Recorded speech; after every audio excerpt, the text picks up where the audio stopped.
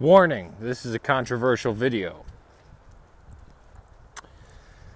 Can you be an Orthodox or Christian in general and vote for a Democrat in the federal election?